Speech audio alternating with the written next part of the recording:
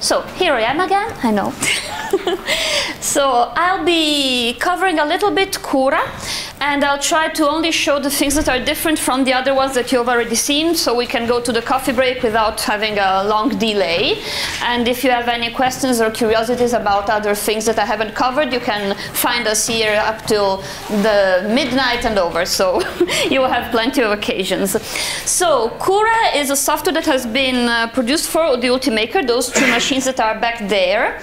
And uh, it's uh, the most, uh, I can say, safer choice if you have this kind of machine because it's been built for his particular needs and uh, sizes and everything.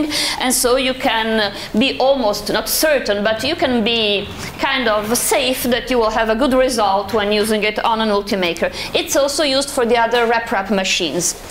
So the interface, it's a little bit in between the makerware that um, Danielle was explaining just now and the other more complicated ones that have a lot more options. You can go with uh, a quick print and then you can almost have uh, almost nothing to choose, high quality, medium or low quality, and then the thin walled vase. You can choose the type of filament, the diameter of the filament, and this is all, if you want a support structure or not.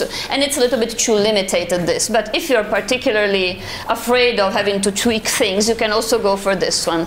Otherwise, you can go to the full settings, and in the full settings, you've got the basic settings that Danielle almost covered all of them together with Carlo before. You've got the layer height, and it's the same as the one you told us before. Here you don't have the shells, but you have a wall thickness that it's a little bit more immediate to understand because the shells you have to think how um, how big a shell is and how many you want and do the math in your head and decide what the wall thickness will be. Here you just put in millimeters what the wall thickness you want. So it's a little bit more immediate. Very nice the thing that if you stop near one of the various menus, you've got some kind of a help. It just tells you at least what are the the normal values that you would like, then you can do whatever you want. And also, if you go and write something that it's not acceptable, it tells you right away, putting a big red box, so you already see that you're doing something wrong. Uh, most of these we've already seen, the fill density that you've seen also on the cardboard board there, the, the speed, on the Ultimaker, there's also the possibility, very, very easy, with a small uh, screw, to change the speed while it's printing. Now, this is very nice because sometimes you've got a print that it has a part that it's very easy, that doesn't have a complexity, and you can go right ahead with a higher speed. And then when you get to the details, like for the beginning, we were talking about the hand. When you're doing the wrist of the hand, it's normal because it just has to do circles. When it reaches the fingers, it has to stop on every finger and then start again on the next finger. So it could be a good idea if you're there and you're checking it to lower the speed when you get to some more difficult parts. So the printing temperature, we've already covered it.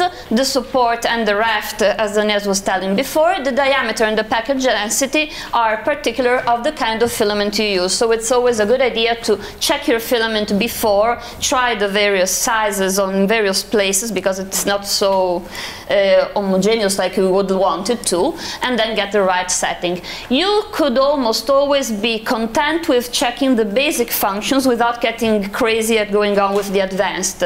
Some of the advanced ones can be interesting to change, but as Daniel was telling you, you've got the retraction, again, more different settings for the speeds, what the, um, the, the quality, the, the, the skirt, that it's the, the, um, the, it does some kind of a round figure at the beginning, before starting your object, it will start doing some skirts all around it, and you can decide to do one or more of these. Usually the skirt, it's useful because the um, plastic will go down in the nozzle and the flow will be more um, homogeneous, more uh, will flow better. So putting one or more skirts also gives you the time to look at it and see if everything is going all right. It's also a very good thing, sorry for the interruption. No, go ahead. printing, uh, uh, mostly when printing with PLA, the plastic that is in the in the nozzle mm -hmm. is mm-hmm. not good, it's uh, already burned. So if you start printing with that, uh, then you're gonna have a burnt uh, piece of plastic in your piece. It's not gonna stick well. So when you have the skirt uh, settings, uh, that you, that starts to purge uh, this uh, bad plastic from the nozzle, and then you can start uh, printing nicely. So it could be a good idea to put more than one skirt just to check if things are going all right and be there and check everything. So for uploading your, for putting your, your files inside of uh, Cura, you just drag them, not in the window, unluckily, but you can drag them on the small um, icon that it's in the bottom, in my case, in the bottom of the screen, or otherwise you can obviously, as always, load them with file load model. I was showing you this one because it's a very nice and complicated piece that I've been proposed yesterday as an impossible print, but to show you the different kinds of views that Cura gives you the possibility to have. This is the standard view, but you can also have a transparent one that makes you see the various pieces of your object right through it. And then there is a very interesting overhang that gives you an idea what the problems will be when you will start printing it. So it colors it in red, so you can already see churning your model that there are a lot of things that will give problems in this kind of print pieces that are hanging over nothing or pieces that are very steep, the angle is too steep, and so on. So it's a good idea to have a look at the various uh, possibilities. Another thing that Cura also does for you, is show you the errors in the mesh. I'll show you another one. Here it is, because this mesh was perfect. I'll scale this down because obviously the, the, sizes frequently are a bit crazy when you import your objects because uh, not all the, um, the graphical 3D graphical um, softwares give the possibility to make to give uh, a size in centimeters or in one kind of metric unit or any kind of unit.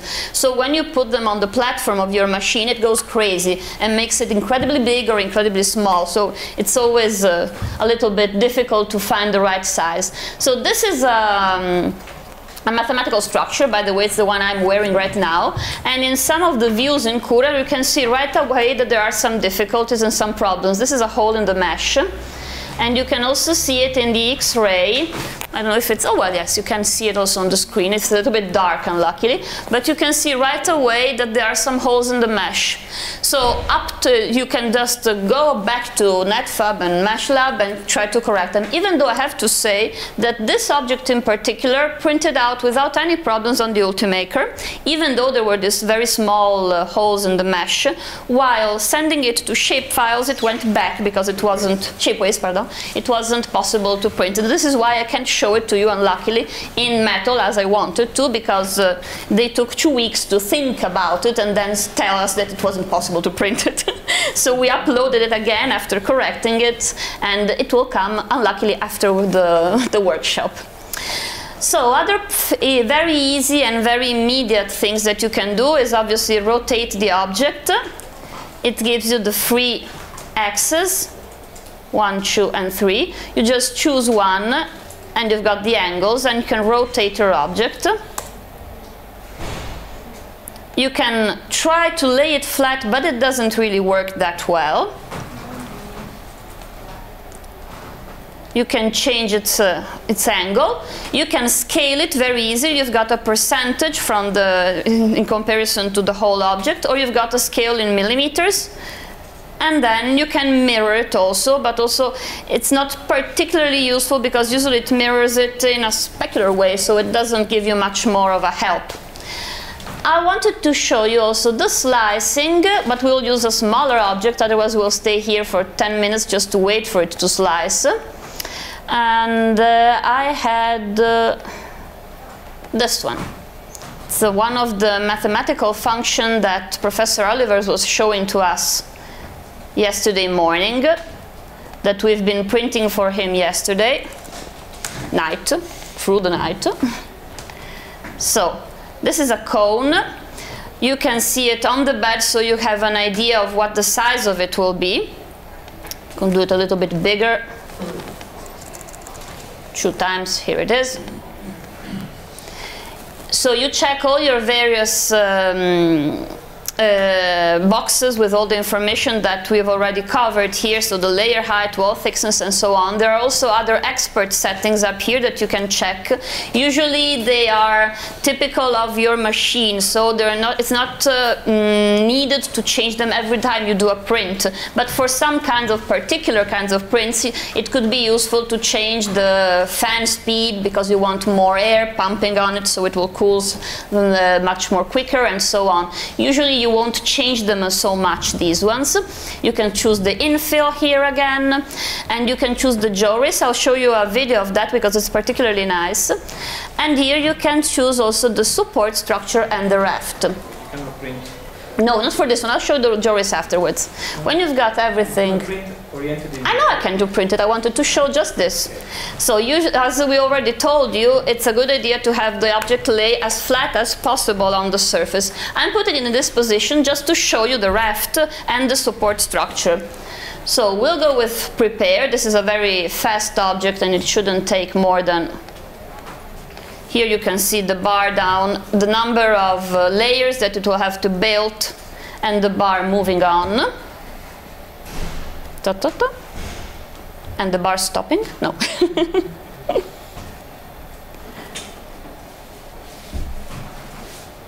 so here we are. I wanted to show it in this position because you can see the support structure in a different color in comparison to the object you can move with the layers and see how the object is being built from the raft on and you can have an idea of how the support structure will be made to support the object. I have to say that it's a strange support structure that he decided I would have placed something here probably more than there, but the, uh, the software does it by itself. You can't choose, so if you are good at drawing, it's better if you draw your own superstructure for strange objects or obviously choose to lay them as flat as possible. I've got still, well, I don't have still five minutes, but I'll take five minutes to show you just another thing. The project planner is particularly interesting in Cura. It gives you the possibility to load more files with the add model. As these, for examples, are the ones that we were printing for Professor Oliver yesterday. You just open all the files and the software will place them on the platform and then you can just cut, the, you can just create a single STL file with all your single objects together. So it's very convenient if you got many small pieces that you want to, to make in one go without getting crazy and having to print them every time one by one. You just export it as a single STL file and then change all the code and all the different things that you need. You can also choose to print one object at a time, so the printer will start doing the first object, then move to the second one, finish the second second one, and so on, or just do them all together. So the first layer of all the objects, the second layer of all the objects, and so on. In this picture, we tried doing it. I'll show you just a picture. This is the famous uh, cube, the geared cube that was going around uh, yesterday and uh, everybody's seen it's there. So here you see the center of the cube and one of the gears. And in the next picture, you see the three pieces of the gear and the pins that are being printed. So it's very convenient if you got small pieces, all the same kind of piece or various kinds of them that you want to print all together and uh, mm, to don't waste too much time. And one more reason for printing them once, one at a time. The first is it's quicker because there's less movement uh, for each layer, just move from one object to the other. But the second one is that you have less, uh, say, filament spread between the objects because when it moves there is still a little bit of plastic as to make strings that connect all together and then you will have to clean so it's not particularly nice having to clean so to do the less post-processing possible if it's uh, more complex for the slicer software to do that because uh, it has to uh, place the objects far away in order not to interfere with, with the extruder. Because when it's printing an object there's another object already built on the platform that is high enough uh, may be a big source of trouble. So uh, it, it, has to place them automatically well far away. And it has to know the, the size of the extruder and all the, all the parts around that may interfere with it. Here I've been adding more objects of the same kind and now he's placing them in red color because he's telling me that it's too much to ask if I want each of them to be printed by itself. If I want them all at once, he just puts them close together because it doesn't need so much space around and so I can put more pieces. It all depends on what are your, your needs and so on. So you, see, you can just add them and print uh, 20 small uh, objects all together in one go. And then I just show you one last thing that it's uh, that I didn't find in, uh, in the other slicers and softwares, but certainly somebody will correct me if, it's, if I'm wrong. That is the jo Joris option, and it's right here in the expert settings enable Joris the outer edge. This is used for these kinds of vases that are very or anyhow, objects that have just one layer of uh, thickness. They're particularly light with translucent plastic, by the way. And uh, if you print them normally, thanks if you print these objects with um, the normal way of printing, the head will stop in the same place and move on to the next layer, and you will see this kind of line that, that uh, on the side of the, of the object. You can also randomize the place where the head moves on the next layer, and this is what we've done, we've done with this one, but you can still see here on the side mostly, you can still see where the junction was, where the head was moving. When you use these thin walled vases, you can use this other kind of option, and the head of the printer will not, uh, here we go, it will go up in a spiral way. So it won't stop and then it won't stop and go up one layer on the z-axis, but it will just go on in a spiral fashion, and you won't see this kind of um, some, some, yes, step in the object. And I didn't find it in the other slicers, but they will certainly tell me if I didn't find it because it's called with another name or not. They are talking about it, and I'll have an answer after, after probably. Is there also a slicer? And I didn't find it. Uh, no, I'm going to do that shortly. Okay, it will be in Slic3r next week. it's a quick hack actually. You can search and replace the G-code to make the, the Okay. So it's not it's over my possibilities to do it in the G code, so I hope that you will add it in the in Slic3r because I find it a nice option. So this is, I think, the major differences between the, the options that that Cura gives you. And for all the other questions, uh, go ahead and ask us and go for the coffee break. No, no, no, no, no we don't. You can't go for the coffee break. You really go after the coffee break. I want just to show you uh, very briefly the very last things before saying uh, bye bye for today. Of course, you're invited to come in the lab and do the slicing for yourself at the time you like. But uh, just uh, briefly, I want to show you very, very quickly the very last uh, uh, software we can use. It's called Repetier-Host. Uh, so what you do is you can either control the printer, you can load STL files, you can slice them through an external slicing software, uh, all in with one interface that is quite nice. Uh, so let me reshape the window. Okay, so uh, what I can do is I can add my file, uh, STL, here. I can do the usual transformation, scale it, uh, do whatever is needed, translate, rotate uh, in different uh, with different um, axes if I like. I can add multiple places, auto positioning them, lie them flat on the platform. Um, and that's the, that's the standard things. Then I move to the second uh, tab here. I can slice them with uh, either Skeinforge or Slic3r. I will use Slic3r. Uh, you, you cannot choose all the parameters here from this interface, but you can choose the um, preset that Slic3r allow you to create. so uh, you have to have configured Slic3r before, so I open Slic3r. I can configure my printer settings here. I can configure my filament settings with a, I, I have multiple presets for different filament size, different uh, type of plastic, different temperature, and uh, different printers, of course. And then uh, I can configure the, the setting just for this object, uh, usual things. Uh, one provided by Slic3r, layer height, infill, speed, whatever I need to do. When I save them, with a name, I can then recall them here. I have all the preset available here, so I select one. I, I want to uh, need a 175 millimeter PLA, and then I can start the slicing process right from Repetier host. Uh, here is the output of Slic3r with all the information from the mm, line command execution of, of, the, of the software. And then it goes, it shows me the G code. I can edit the G code here right from the interface if I want to change the temperature or whatever I want to change. Save the code. I can visualize um, layer by layer here what is happening to my object. I can follow the path. I can see uh, the complete um, object or I can see a range of layers from 2 to 12 or just one layer and many other interesting things. And then I go to the print panel, I connect the printer. I can control the printer manually. Do whatever I need to do, and then I can just run the G code from here.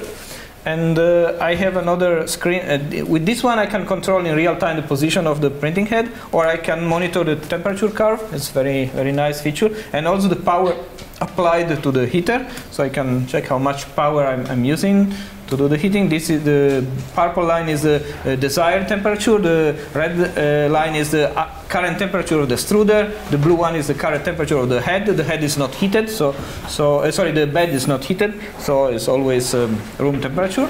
Actually, there is not even a sensor. So. Um,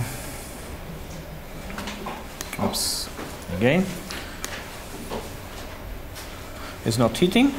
Ah, okay, because I have a different, uh, a different. Uh, sorry, I was preheating these things to save time. Um, let me reconnect again and and do a run.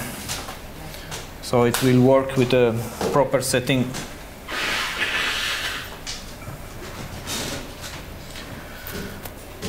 Uh, it's not heating. Okay, sorry. Oh, let, let, let reset a second both the printer and the software. Okay, and now, now it's working. Hopefully. We should see the temperature rising up to the right value. Actually, it's decreasing. Uh, resting. Don't know why. It's supposed to go to two- 205, it's 145 and it's going down.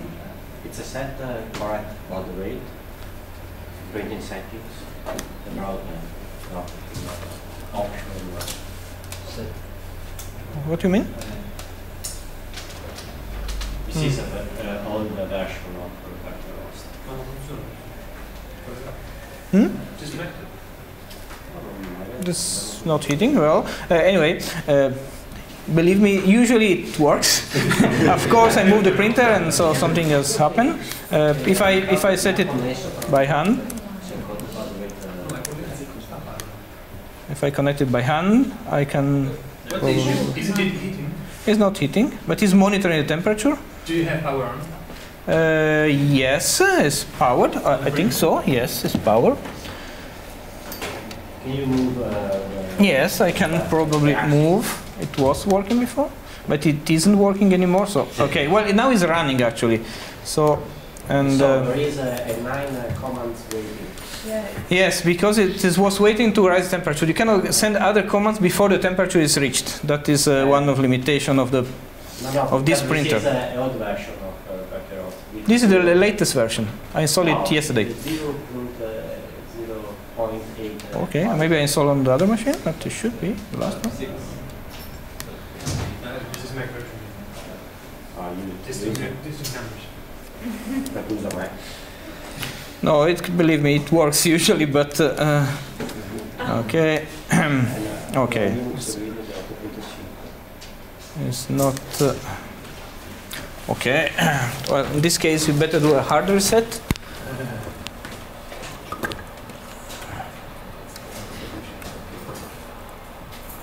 Uh,